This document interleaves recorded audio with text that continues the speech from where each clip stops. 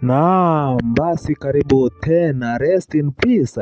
Death hits Kalwale again. United Democratic Alliance ina seneta mmoja wa kaunti ya Kakamega ambaye mtazamaji, sasa ukiangalia picha hizo mtazamaji, kuna mtu unayemwona ambaye iliweza kuaminika kwamba aliweza kuikata roho na tetezi zikasemekana kwamba huenda bwana Boni Alwale alihusika katika kifo hicho.